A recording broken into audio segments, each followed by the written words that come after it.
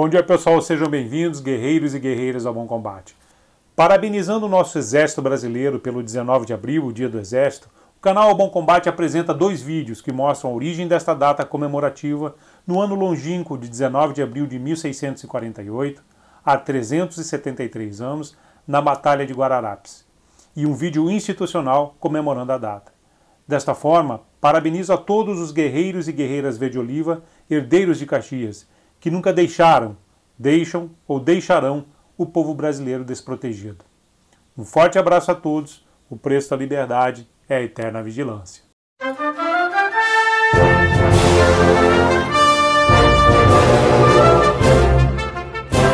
Em 1637, a Holanda manda para o Brasil o príncipe João Maurício de Nassau para administrar os domínios holandeses aqui no Brasil.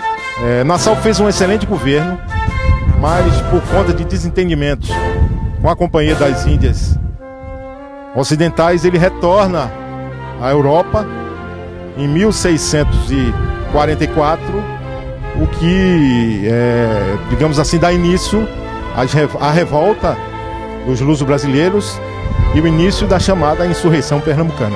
Após a saída de Maurício de Nassau, a Companhia das Índias Ocidentais passou a cobrar pesados impostos aos engenhos de cana-de-açúcar.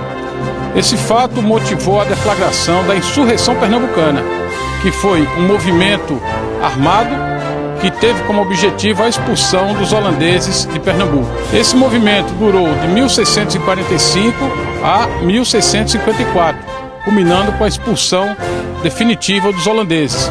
Durante esse período ficou marcado para a história do Brasil o nascimento do sentimento de nativismo, sentimento de pátria. Também ficou definido como sendo a origem do Exército Brasileiro a data de 19 de abril de 1648. E também a Irmandade, a união das raças que formam o povo brasileiro, negros, brancos e índios, que irmanados lutaram lado a lado contra o inimigo invasor externo comum.